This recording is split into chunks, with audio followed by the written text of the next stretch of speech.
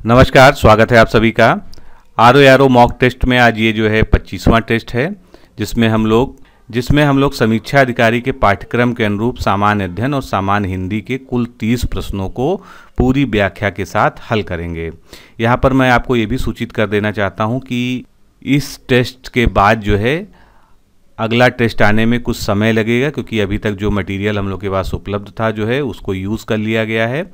और नया मटेरियल जो है लॉकडाउन की कुछ समस्याएँ हैं ऑफ़िस वगैरह नहीं खुल पा रहा है तो उसकी वजह से अभी तैयार हो रहा है, लेकिन वो जो है, उसको आप लोग के सामने लाने, लायक बनाने में जो है, अभी कुछ समय लगेगा तो लगभग एक हफ़्ते का समय इसमें लग सकता है।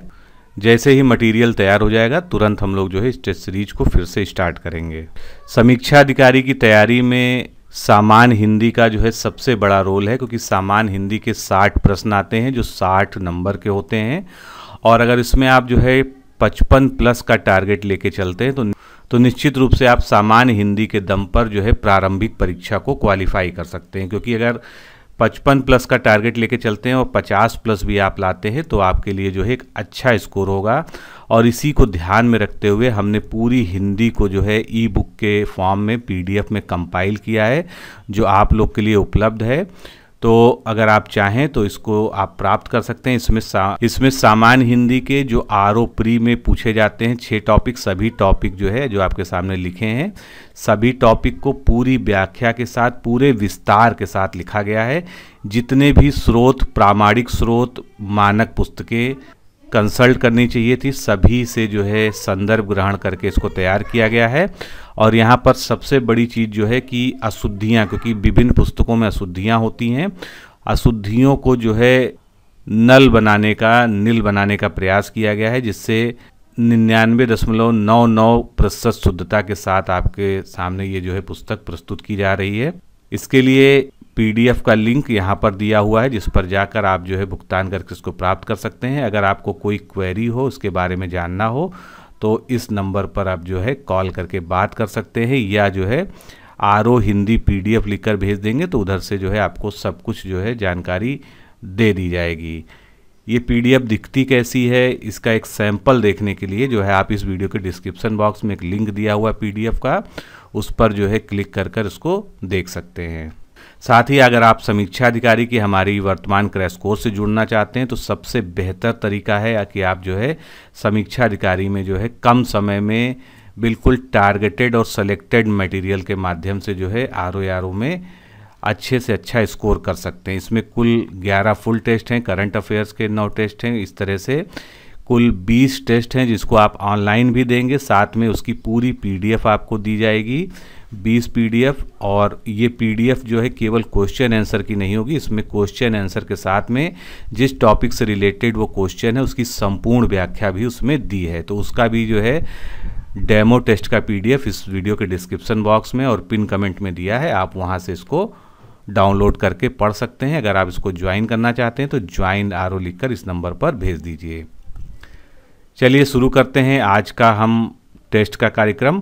पहला प्रश्न क्या है? अभियुक्त। तो अभियुक्त शब्द निम्नलिखित में से किस वाक्यांश के लिए प्रयुक्त होने वाला शब्द है? जिस पर मुकदमा चल रहा हो, उसको अभियुक्त कहा जाता है। अपराध करने का आरोप जिस पे लगाया गया हो, उसको आरोपी तो कहते हैं, लेकिन उस पर को भी जो है, हम अभियुक्त कह सकते हैं। और जिस पर अभियोग, यानी मुकदमा चलाया गया हो या लगाया गया हो तो वो भी जो है अभियुक्त कहलाता है। इस प्रकार से ये तीनों ही जो वाक्यांश हैं, इसके लिए अभियुक्त शब्द जो है सही बैठता है। तो डी ऑप्शन यहाँ पर करेक्ट होगा। अगला प्रश्न देखेंगे। सुमेलन करना है, वाक्यांश के लिए एक शब्द दिए हैं और शब्द इधर दिए हुए हैं सूची दो में। खाने का इच्छुक, खाने का इच्छुक जो होता है उसको बुभुच्छी कहते हैं और खाने की जो इच्छा होती है उसको बुभुच्छा कहते हैं। दोनों में थोड़ा सा अंतर है। यहाँ पर इच्छुक का मतलब जो है व्यक्ति के बारे में बात की गई है और यहाँ पर जो है केवल इच्छा की बात की गई है। इसी तरह से मरने की इच्छा को क्या कहते हैं? मुमूर्षा कहते हैं और मरने का जो इच्छुक व्यक्ति होता है उसको जो है मुमूर्ष कहते हैं। तो इस तरह से ये सभी जो है आमने सामने सुमेलित हैं और पहला जो ऑप्शन यानी ए ऑप्शन इसका सही होगा। अगला प्रश्न देखते हैं। थोड़ी सी चीनी। इस वाक्यांश में किस प्रकार का विशेषण है? तो थोड़ी सी चीनी में जो है, क्योंकि यहाँ पर आप देख सकते हैं, चीनी की मात्रा बताई जा रही है, यानी यानी यहाँ पर क्या है? ये परिणामवाचक तो है ही है। तो परिमाणवाचक है, लेकिन यहाँ पर अनिश्चितता है, थोड़ी सी चीनी, यानी थोड़ी सी शब्द से ये स्पष्ट नहीं हो पा रहा है कि ये कितनी मात्रा में है? तो यहाँ पर क्या होना चाहिए? अनिश्चित परिमाणवाचक विशेषण का ये उदाहरण हो गया। निश्चित परिमाणवाचक विशेषक कौन से होते हैं? जिसमें जो है मात्रा या नापतौल का जो है मात्रा की इकाई जो है स्पष्ट रूप से दी गई हो। टन, लीटर, मीटर, किलोग्राम, ये सभी निश्चित परिमाणवाचक हो गए। अनिश्चित परिमाणवाचक में थोड़ा बहुत, ज़्यादा, अधिक, कुछ ये सब आ जाएगा। निश्चित संख्यावाचक में एक, दो, पहला दुगना आएगा और अनिश्चित संख्यावाचक में कम, ज़्यादा, थोड़े, बहुत, ये सभी आ जाएगा। अगला प्रश्न देखते हैं, निम्नलिखित में से किस विकल्प में क्रमवाचक विशेषण है?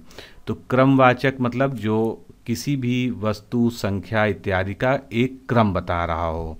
तो यहाँ पर क्रम आपको किसमें दिख रहा है? पहला, दूसरा, बी ऑप्शन जो है यहाँ पर करेक्ट होगा। ये जो है क्रमवाचक विशेषण के उदाहरण हैं। गणनावाचक के क्या उदाहरण होते हैं? एक, दो, तीन। यानी हम सीधे सीधे सिंपली जो है गिनती गिन रहे हैं। किसी चीज़ की गणना कर रहे हैं तो वो एक, दो, तीन जो है इस तरह से उदाहरण हो जाएगा। क्रमवाचक में पहला, दूसरा, तीसरा, चौथा, पाँचवा। आवृत्तिवाचक में उसकी फ्रीक्वेंसी कितनी है? यानी एक गुना है, दो गुना है, तीन गुना है, पाँच गुना है तो ये आवृत्तिवाचक विशेषण हो जाएगा। और समूहवाचक है, जब किसी एक समूह को जो है, हम किसी एक शब्द से जो है, विशेषता बताते हैं उसकी, जैसे दोनों, पाँचों, सभी, ये सभी क्या हैं? समूहवाचक विशेषण के उदाहरण है। अगला प्रश्न, पदोन्नति शब्द का विपरीतार्थक शब्द इनमें से कौन सा है? पदोन्नति मतलब पद की लगातार उन्नति होना, यानी निचले पद से उच्च उच्च पद पर जाना। तो इसका उल्टा क्या हो जाएगा? पदावनत, यानी ऊपर वाले पद से नीचे आ जाना। सी ऑप्शन यहाँ पर। करेक्ट होगा। अगला प्रश्न, साहचर्य का विलोम क्या होगा? साहचर्य का अर्थ क्या होता है? साथ साथ रहना। तो कोई चीज़ साथ साथ है, उसको साहचर्य कहते हैं और उसका उल्टा क्या हो जाएगा? पृथककरण, यानी अलग अलग हो जाना। अगला प्रश्न देखेंगे, निम्नलिखित में से किस विकल्प में सभी गंगा जी के पर्यावाची शब्द हैं?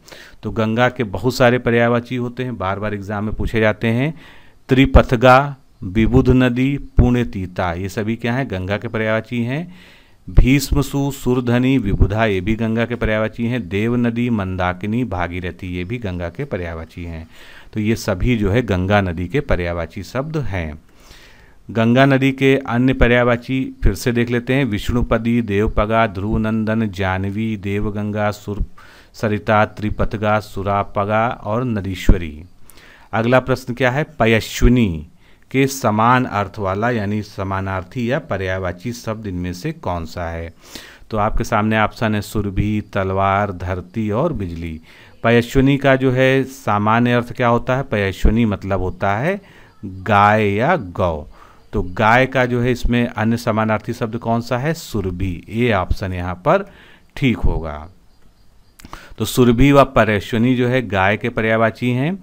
अब इनके अन्य पर्यावाची देख लेते हैं तो गाय के पहले देखते हैं, माहेई, गौरी, गैया, धेनु, सुरभि, गौ गौ तलवार के पर्यावाची, असी, चंद्रहास, करवाल, कृपाल, खड़ग। धरती के पर्यावाची शब्द, पृथ्वी, अचला, छोड़ी, धरा, वसुमती, मही, इला, उर्वी, भू, विपुला, धरणी, मेदनी, भूमि, अवनी, वसुंधरा। बिजली के पर्यावाची बिजुरी दामिनी चंचला सौदामिनी तड़ित बिज्जू क्षण प्रभा चपला विद्युत संपा, ये सभी क्या हैं? बिजली के पर्यावाची शब्द हो गए। अगला प्रश्न, निम्नलिखित में से शुद्ध वर्तनी वाले शब्दों का चयन कीजिए। यानी इसमें से केवल वो शब्द हमको देखने हैं जो शुद्ध वर्तनी वाले हैं। मैथिली शरण की वर्तनी कैसी है? शुद्ध लिखा है, बिल्कुल ठीक है।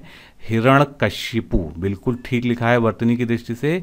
सूर्प नखा, ये क्या है? ये गलत लिखा है वर्तनी, और वाल्मीकि जिस तरह से लिखा है, ये भी गलत लिखा है। तो इस तरह से केवल एक व दो की जो है वर्तनी इसमें से शुद्ध है, बाकी की अशुद्ध है तो उनकी कैसे शुद्ध होगी, ये हम देखते हैं। सूर्प नखा के स्थान पे क्या होना चाहिए? सूर्प रखा होना चाहिए।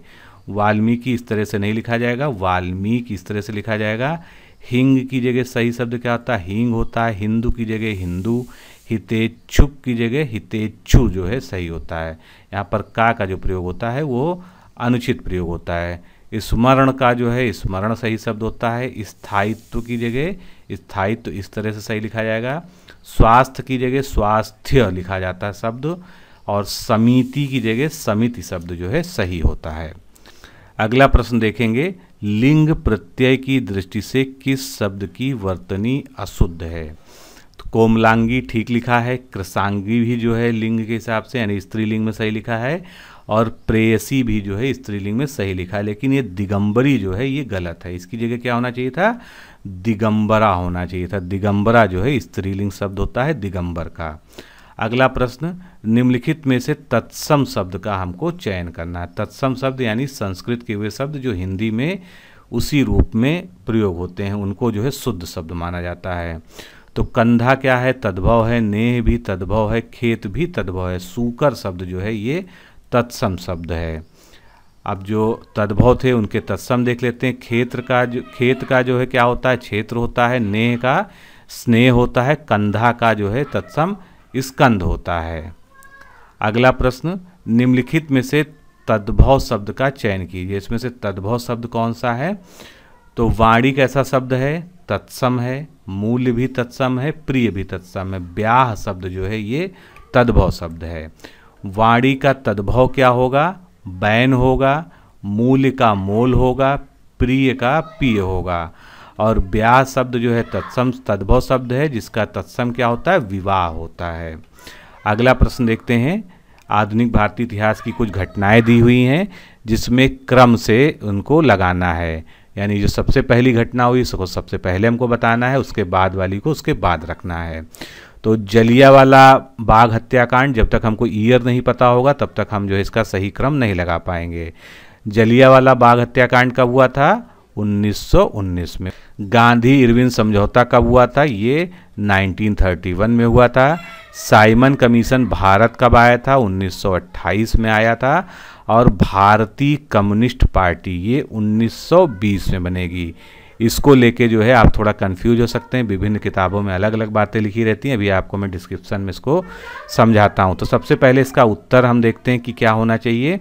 तो उत्तर इसका सी होगा, क्योंकि आपके सामने मैंने ईयर लिख दिया है, उसके हिसाब से आप इसको अरेंज कर सकते हैं। तो जलियावाला बाग हत्याकांड 1919 गांधी समझौता 1931 साइमन कमीशन 1928 और भारतीय कम्युनिस्ट पार्टी की स्थापना 1920 अब भारतीय कम्युनिस्ट पार्टी की स्थापना का जो इतिहास है, उसमें चलते हैं। तो 17 अक्टूबर सन 1920 में ताशकंद में जो है भारतीय कम्युनिस्ट पार्टी की स्थापना हुई थी। इसके सदस्य थे Manvendra Nath Roy, A T Roy, Avan Mukherjee, Rosa Fitingof, Mohammad Ali, Mohammad Shafiq ये सभी जो है वहाँ पर ताशकंद में एक सम्मेलन किया था इन लोगों ने। तो उसी में जो है भारतीय कम्युनिस्ट पार्टी की औपचारिक शुरुआत या जो है स्थापना हो गई थी। उसके बाद 1921 से 1955 ईस्वी के बीच भारत में अनेक स्थानों पर औपचारिक साम्यवादी गुटों की स्थापना होती रही और अंतिम रूप से 1 दिसंबर 1925 को घोषणा तथा 27 दिसंबर 1925 को कानपुर में सत्य भक्त के नेतृत्व में अखिल भारतीय साम्यवादी दल का गठन हुआ था। अब यहाँ पर एक चीज़ समझने वाली है कि भारतीय कम्युनिस्ट पार्टी ये 1920 में बनी थी ताशकंद में और 1925 में 27 दिसंबर 1925 को अखिल भारतीय साम्यवादी दल का गठन किया गया था, जिसको हम ऑल इंडिया कम्युनिस्ट पार्टी कहेंगे। तो दोनों में अंतर है, इसी अंतर को आपको समझना चाहिए और जिस तरह से प्रश्न में लैंग्वेज हो, उसी तरह से आप इसको जो है, इसका उत्तर देंगे। और ये जो प्रश्न है, ये आई एस प्री मतलब ये प्रश्न नहीं जिस पर हम डिस्कस कर रहे हैं। गठन से संबंधित प्रश्न जो है आई एस प्री 2005 में पूछा जा चुका है। और इसका उत्तर जो है आई एस एग्ज़ाम में जो है, यूपीएससी द्वारा जो है 1920 ही दिया गया था। अब यहाँ पर कई सारी जो है, घटनाएँ बताई गई हैं, जो है, भारतीय इतिहास में मॉडर्न हिस्ट्री की। तो साइमन कमीशन के बारे में सबसे पहले बात करते हैं। तो भारत सरकार अधिनियम जो 1919 का था, इसने ब्रिटिश भारत के प्रांतों को संचालित करने के लिए द्विशासन व्यवस्था की शुरुआत की थी। इस अधिनियम में प्राविधान था कि शासन योजना की प्रगति की जाँच के लिए 10 साल बाद एक आयोग नियुक्त किया जाएगा, जो बताएगा कि 1919 का जो अधिनियम था, उसमें जो सुधार करने की क्या आवश्यकता है? तो इसकी सिफारिशों के आधार पर सुधार के लिए कदम उठाए जाएँगे। इंग्लैंड की सरकार रूढ़िवादी सरकार थी, जो कि भारतीयों के नियंत्रण देने के पक्ष में नहीं थी। यानी वो चाहती थी कि ज़्यादा से ज़्यादा नियंत्रण ब्रिटिश के ही हाथ में, भारतीयों के हाथ में जो है संसदीय व्यवस्था या नियंत्रण ना जाए। तो मार्च 1927 में सरकार ने निर्धारित तिथि से पहले, क्योंकि 1919 के हिसाब से जो है उन्नीस सौ उनतीस में जो है आयोग बनना चाहिए था, लेकिन इसने क्या किया? 1927 में जो है सरकार ने निर्धारित तिथि से पहले वैधानिक आयोग की नियुक्ति के निर्णय की घोषणा की और आयोग को बाद में 1919 में स्थापित किया जाना था, लेकिन इसने 1927 में ही इसको घोषित कर दिया और यही आयोग था साइमन कमीशन। अब इसकी सिफारिशें क्या थी? तो इसकी सिफारिशें हम संक्षेप में जानते हैं। इसने कहा, संघीय संविधान होना चाहिए, प्रांतीय कानून को प्रांतों को कानून सहित पूर्ण स्वायत्ता मिलनी चाहिए। विभिन्न समुदायों की रक्षा के लिए राज्यपाल को आंतरिक सुरक्षा और प्रशासनिक शक्तियों से संबंधित विवेकाधीन शक्तियाँ मिलनी चाहिए। प्रांतीय विधान परिषद के सदस्यों की संख्या में वृद्धि की जानी चाहिए। कैबिनेट के सदस्यों की नियुक्ति करने के लिए गवर्नर जनरल को पूरा अधिकार होना चाहिए और भारत सरकार का हाई कोर्ट पूर्ण नियंत्रण होना चाहिए। तो कांग्रेस द्वारा दिसंबर 1927 में मद्रास में आयोजित अपने वार्षिक सत्र में साइमन कमीशन के बहिष्कार का निर्णय लिया। जब पता चला कि साइमन कमीशन बन गया है, भारत आने वाला है तो कांग्रेस ने जो है मद्रास अधिवेशन, जो कि 1927 में हुआ था, इसमें जो है प्रस्ताव पास किया कि पूरे देश में इस कमीशन का बहिष्कार किया जाएगा। इसी के क्रम में तीन फरवरी 1928 को जब साइमन कमीशन भारत आया, तब कांग्रेस ने उसे काले झंडे दिखाए और कोलकाता में सुभाष चंद्र बोस ने जो है इसका नेतृत्व किया। 30 अक्टूबर 1928 को लाहौर में प्रदर्शन हुआ तो लाहौर में साइमन कमीशन के विरोधी जुलूस का नेतृत्व किया गया लाला लाजपत राय के द्वारा। और लाला लाजपत राय जो है, इसमें घायल हो गए। उसके बाद 17 नवंबर 1928 को उनका निधन हो गया। फिर उनकी जो मौत का बदला लेने के लिए ही भगत सिंह सुखदेव एवं राजगुरु ने सैंडर्स की हत्या की थी। इसके बाद चलते हैं, अगला घटनाक्रम क्या हुआ? सविनय अवज्ञा आंदोलन। गांधी जी ने छेड़ दिया उन्नीस सौ तीस में मार्च में और वहाँ पर जो है डांडी मार्च जो है उसका एक अंग था, डांडी मार्च प्रारंभ किया गया और 6 अप्रैल 1930 को उन्होंने नाम नमक कानून को तोड़ दिया। इसके बाद जो है अगला घटनाक्रम जो है गांधी इरविन समझौता है।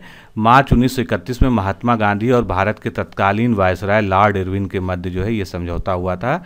इस समझौते के पश्चात गांधी जी जो है द्वितीय गोलमेज सम्मेलन जो कि सितंबर, दिसंबर 1931 में संपन्न हुआ था, इसमें भाग लेने के लिए सहमत हुए।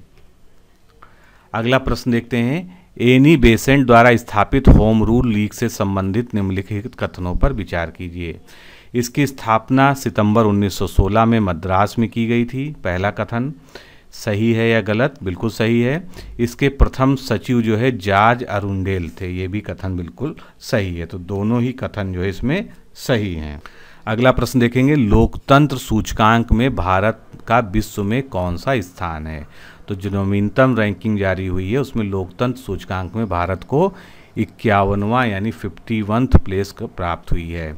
लोकतंत्र की स्थिति के आकलन हेतु ब्रिटेन की द इकोनॉमिस्ट इंटेलिजेंस यूनिट द्वारा यह रिपोर्ट जारी की जाती है, जिसमें एक सौ सड़सठ देशों व क्षेत्रों के लिए लोकतंत्र सूचकांक आकलित किए गए हैं। इसमें भारत को इक्यावनवा स्थान प्रदान किया गया है। अगला प्रश्न, कारपोरेट सेक्टर में दूसरी तेजस रेलगाड़ी का परिचालन किन शहरों के बीच में हुआ? तो पहली का आप जानते हैं किसके किसके बीच हुआ था? लखनऊ और दिल्ली के बीच। यानी ए ऑप्शन आपका इसमें बिल्कुल नहीं है। तो दूसरी का कब हुआ है? अहमदाबाद और मुंबई के बीच जो है, दूसरी तेजस ट्रेन चली थी। तो लखनऊ, दिल्ली के बीच सेमी हाई स्पीड ट्रेन का सफल संचालन के पश्चात दूसरी तेजस रेलगाड़ी अहमदाबाद और मुंबई के बीच 17 जनवरी 2020 से चलाई गई। अगला प्रश्न, ब्रिटेन का मैनचेस्टर किस उद्योग के लिए प्रसिद्ध है? तो ब्रिटेन का जो मैनचेस्टर है, क्योंकि एक तो ये उपाधि बन गई है, विभिन्न भारत में भी कहा जाता है भारत का मैनचेस्टर, पूर्वी भारत का मैनचेस्टर तो मैनचेस्टर है क्या? मैनचेस्टर फ़ेमस है सूती वस्त्र उद्योग के लिए। डी ऑप्शन यहाँ पर करेक्ट होगा। अगला प्रश्न, पोलावरम परियोजना किससे संबंधित है? यानी किस राज्य से संबंधित है? तो पोलावरम एक सिंचाई परियोजना है, जो थोड़ा विवादों में भी चल रही है। तो ये परियोजना है आंध्र प्रदेश की। यह एक प्रस्तावित परियोजना है, जिसके अंतर्गत 136 गाँवों, दो से ग्यारह छोटे कस्बों व सात मंडलों का आंध्र प्रदेश में विलय किया जाएगा, जिससे वे पूर्वी गोदावरी ज़िले का हिस्सा बन जाएँगे। ये परियोजना गोदावरी नदी पर प्रस्तावित है, जिसमें तिरासी हज़ार दो सौ करोड़ घन फुट जल का संग्रह किया जाएगा। अगला प्रश्न, निम्नलिखित में से गलत कथन की पहचान कीजिए। चार कथन है, इसमें से कौन सा कथन असत्य है, ये हमको देखना है। भारतीय संघ के नए राज्य की स्वीकृति राष्ट्रपति देता है तो यही कथन गलत है, क्योंकि भारतीय संघ में जो नया राज्य होता है, उसकी स्वीकृति जो है, राष्ट्रपति के ना देकर संसद के द्वारा दी जाती है। अगला कथन क्या है? नागरिकता प्राप्त करने के लिए शर्तें निर्धारित करने वाला सक्षम निकाय संसद है। बिल्कुल ठीक है। अखिल भारतीय सेवाओं के सृजन की शक्ति संसद के पास है, ये भी ठीक है और विशेष रूप से राज्यसभा के बाद पास है। मंत्रिमंडल सामूहिक रूप से लोकसभा के प्रति उत्तरदायी होता है, ये भी कथन यहाँ पर सही है। अब इसको थोड़ा डिटेल में हम जानते हैं, भारतीय संविधान के अनुच्छेद दो के अनुसार संसद विधि के द्वारा संघ में नए राज्यों का प्रवेश या उनकी स्थापना कर सकती है और अनुच्छेद तीन के अनुसार संसद को राज्यों का निर्माण करने का अधिकार प्राप्त है। अब सभी अनुच्छेदों को देख लेते हैं जो भारत के भाग एक में, यानी भारत एवं उसके राज्य क्षेत्र में दिए हैं। अनुच्छेद एक में क्या दिया है? संघ का नाम और उसका राज्य क्षेत्र दिया है। अनुच्छेद दो, नए राज्यों का प्रवेश या स्थापना के बारे में बताता है। अनुच्छेद तीन, नए राज्यों का निर्माण और वर्तमान राज्यों के क्षेत्रों, सीमाओं या नामों में परिवर्तन के बारे में बतलाता है।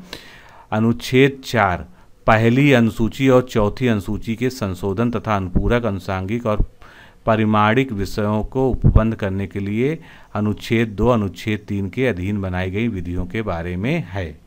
अगला प्रश्न, राज्यसभा का कार्यकाल कितने वर्ष होता है? तीन वर्ष होता है छः वर्ष होता है या पाँच वर्ष होता है, इनमें से कोई नहीं। तो राज्यसभा जो है, एक अनिश्चितकालीन सदन है, इसका कोई भी जो है समय सीमा नहीं तय की गई है कि ये कब तक जो है चलेगी। हाँ इसके कार्यकाल सदस्यों का होता है जो छः वर्ष का होता है, इसलिए इसमें जो है डी ऑप्शन यहाँ पर करेक्ट होगा, क्योंकि राज्यसभा एक स्थायी सदन है, इसका कोई भी कार्यकाल निश्चित नहीं होता है, बल्कि इसके सदस्यों का कार्यकाल छः वर्ष होता है। प्रत्येक दो वर्ष पर राज्यसभा के एक तिहाई सदस्य जो है सेवानिवृत्त होते रहते हैं। राज्यसभा में सदस्यों की अधिकतम संख्या जो है वो 250 निर्धारित है। इनमें से दो सौ अड़तीस सदस्य जो है इनका चुनाव भारत के विभिन्न राज्य के विधानमंडलों के निर्वाचित सदस्यों द्वारा किया जाता है। बारह सदस्यों का मनोनयन होता है तो भारत के राष्ट्रपति द्वारा इनका मनोनयन किया जाता है, जो अपने अपने क्षेत्रों में उत्कृष्टता हासिल किए हुए होते हैं। राज्यसभा के जो सदस्य राज्य विधानसभाओं से निर्वाचित होते हैं, वे उस संबंधित राज्य के अधिवासी नहीं भी हो सकते हैं। पहले ये बाध्यता थी, परंतु वर्तमान में इसे समाप्त कर दिया गया। इसका क्या मतलब है? कि मान लीजिए जो है कोई नेता है जो दिल्ली का निवासी है या हरियाणा का निवासी है, लेकिन वो जो है चुनाव राज्यसभा का कहाँ से लड़ता है? वो गुजरात से लड़ता है। तो पहले ये बाध्यता थी कि वो चुनाव नहीं लड़ सकता। है जहाँ का वो निवासी है, उसी राज्य से वो राज्यसभा के लिए चुना जा सकता है। लेकिन अब ये बाध्यता ख़त्म कर दी गई है। अब नए नियमों के अनुसार कोई भी जो है कि, किसी भी राज्य का निवासी हो लेकिन दूसरे राज्य से वो राज्यसभा के लिए चुना जा सकता है। अगला प्रश्न सूची एक में जो है कुछ संस्थान दिए हुए हैं जो कि शोध संस्थान है और सूची दो में उनकी जगह दी हुई है कि कहाँ पर वो स्थापित हैं। तो इनका हमको सुमेलन करना है। केंद्रीय चावल शोध संस्थान ये कहाँ पर है? कटक में है। केंद्रीय आलू शोध संस्थान ये शिमला में है, भारतीय गन्ना शोध संस्थान लखनऊ में है और केंद्रीय तंबाकू शोध संस्थान जो है, ये राजमुंदरी में है। इस तरह से ए ऑप्शन सही होगा। यहाँ पर सी ऑप्शन पे थोड़ा ध्यान दीजिएगा। इसमें थोड़ा सा कन्फ्यूज़न होती है क्योंकि भारतीय गन्ना शोध संस्थान और भारतीय इंडियन शुगर रिसर्च इंस्टीट्यूट क्योंकि इसको हम क्या कहेंगे? Indian sugar cane research institute और अगर आपसे पूछा जाए इंडियन या सेंट्रल शुगर रिसर्च इंस्टीट्यूट तो वो क्या हो जाएगा? कानपुर में हो जाएगा। तो थोड़ा सा इस कन्फ्यूज़न से दूर रहिएगा। अब आगे कुछ और प्रमुख शोध संस्थान हैं, उसको हम देखते हैं। केंद्रीय जूट एवं संबद्ध रेसे अनुसंधान संस्थान, ये कहाँ पर है? बैरकपुर में, यानी पश्चिम बंगाल में। केंद्रीय अंतः स्थलीय मात्स्यिकी अनुसंधान संस्थान, ये बैरकपुर में है। भारतीय चारागाह एवं चारा अनुसंधान संस्थान, यानी फॉर्डर रिसर्च इंस्टीट्यूट ये झांसी में है। राष्ट्रीय कृषि वानिकी अनुसंधान केंद्र झांसी में है। भारतीय बागवानी अनुसंधान संस्थान बेंगलौर में है। केंद्रीय शीतोष्ण बागवानी संस्थान ये श्रीनगर में है। केंद्रीय शुष्क बागवानी संस्थान ये बीकानेर में है। राष्ट्रीय ऊँट अनुसंधान संस्थान बीकानेर में है। भारतीय सब्ज़ी अनुसंधान संस्थान ये वाराणसी, उत्तर प्रदेश में है। इसके बाद केंद्रीय आलू अनुसंधान संस्थान ये शिमला में है। केंद्रीय कंद फ़सलें अनुसंधान संस्थान त्रिवेंद्रम में है। केंद्रीय रोपण फ़सलें अनुसंधान संस्थान कासरगोड में है। केंद्रीय कृषि अनुसंधान संस्थान पोर्ट ब्लेयर में है। भारतीय मसाला अनुसंधान संस्थान कालीकट में है। अगला प्रश्न, प्रथम मानव निर्मित धान्य है। इसमें से जो पहला मानव निर्मित धान्य है वो कौन सा है? ट्रिटिकेल है। ट्रिटिकेल जो है ये हाइब्रिड वैरायटी है, ये कैसे बना था? तो ये गेहूँ और राई के संयोज, संयोजन से बनाया गया अन्न है। तो triticale is a hybrid of wheat जिसमें से ट्रिटिक, ट्रिटिकम से जो है ट्रिटी ले लिया गया और राई का जो है क्या नाम होता है? सिकेल होता है। तो यहाँ से जो है केल ले लिया गया। इस तरह से ये बन गया ट्रिटिकेल। अगला प्रश्न जल कितने केल्विन पर जमता है? जल कितने पर जमता है? ये तो हमको सभी को पता है कि ज़ीरो डिग्री सेंटीग्रेड पर जम जाता है, लेकिन उसका केल्विन में कितना मान होगा? तो केल्विन में उसका मान होगा दो सौ तिहत्तर केल्विन। तो जल का जमना ज़ीरो डिग्री सेंटीग्रेड पर होता है फॉरेन हाइट में इसको हम 32 कह सकते हैं और केल्विन में दो सौ तिहत्तर कह सकते हैं। इसी तरह से क्वथनांक या बॉइलिंग पॉइंट जो है 100 डिग्री सेंटीग्रेड होता है। फॉरेन हाइट में इसको हम 212 कहेंगे और केल्विन में इसको तीन सौ तिहत्तर कहेंगे। कमरे का जो सामान्य तापमान माना जाता है, वो सत्ताईस डिग्री सेंटीग्रेड माना जाता है। फॉरेन हाइट में इसको अस्सी दशमलव छः कह देंगे और 300 डिग्री कैलविन कह देंगे। मानव शरीर का जो सामान्य ताप होता है, ये सैंतीस डिग्री टेम्परेचर माना जाता है। कहीं कहीं सैंतीस पॉइंट जो है या छत्तीस पॉइंट छः भी लिखा रहता है।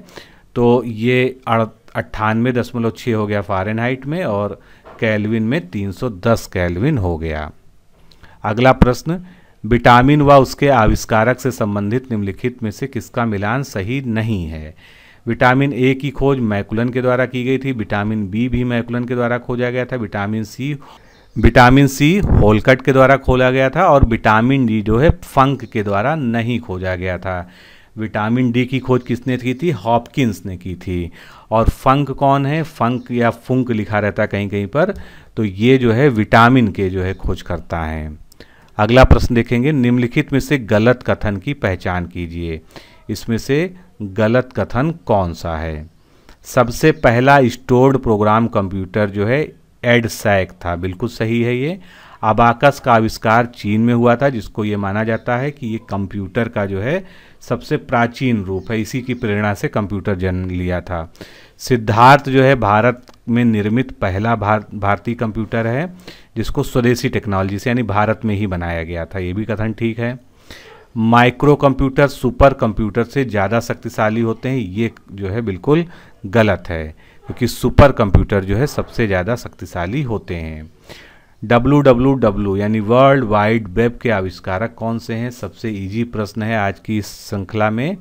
तो इस डब्लू डब्लू डब्लू यानी वर्ल्ड वाइड वेब का जो है आविष्कार किसने किया था? टिम बर्नर्स ली ने किया था। सी ऑप्शन यहाँ पर करेक्ट है। अगला प्रश्न इनमें से डायरेक्ट टैक्स या प्रत्यक्ष कर कौन सा है? तो आयकर या संपत्ति कर बिक्री कर या तट कर उत्पाद कर या सीमा शुल्क या इनमें से कोई नहीं। तो इनमें से डायरेक्ट टैक्स या प्रत्यक्ष कर है आय कर और संपत्ति कर यानी income tax and wealth tax. प्रत्यक्ष कर कौन कौन से होते हैं? उप, उपहार कर संपत्ति कर आयकर ये सब प्रत्यक्ष होते हैं अप्रत्यक्ष होते हैं बिक्री कर उत्पादन कर तट कर और सीमा शुल्क।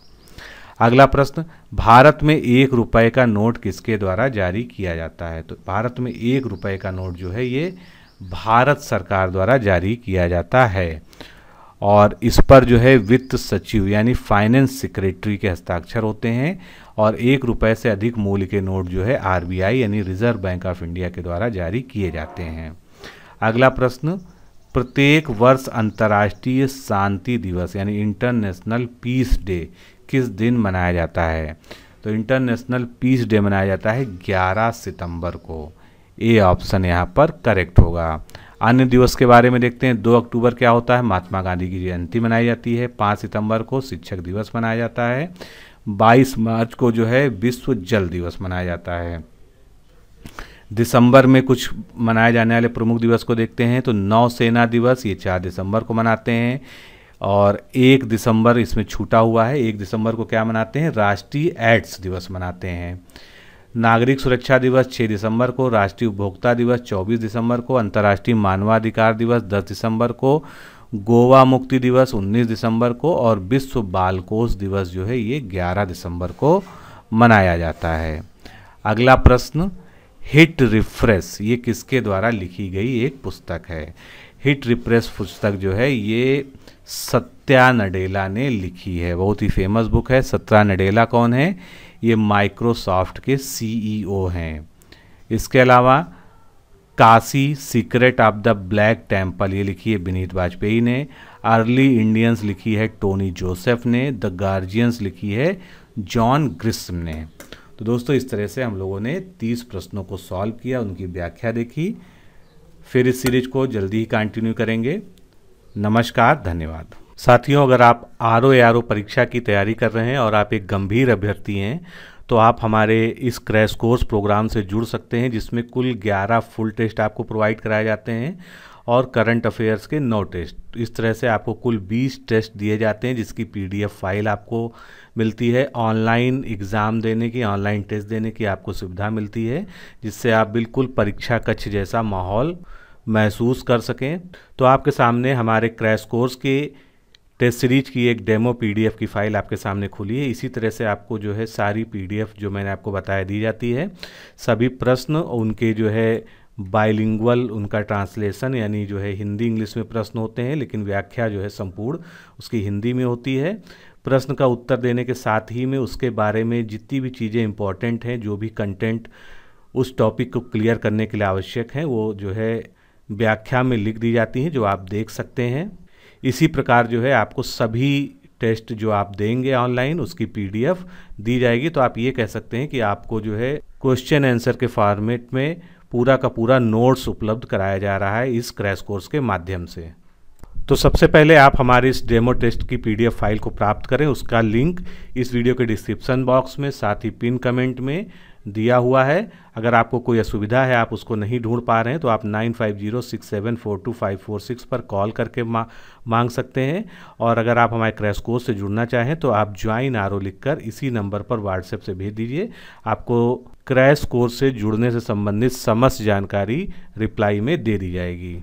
कम से कम समय में सेलेक्टेड मटेरियल के साथ टारगेटेड अध्ययन सामग्री के साथ और अति संभावित प्रश्न श्रृंखला के माध्यम से आर ओ आर ओ परीक्षा की तैयारी के लिए इससे बेहतर विकल्प शायद ही कहीं उपलब्ध है। अतः अपना निर्णय शीघ्र लें और इस क्रैश कोर्स प्रोग्राम से जुड़ें।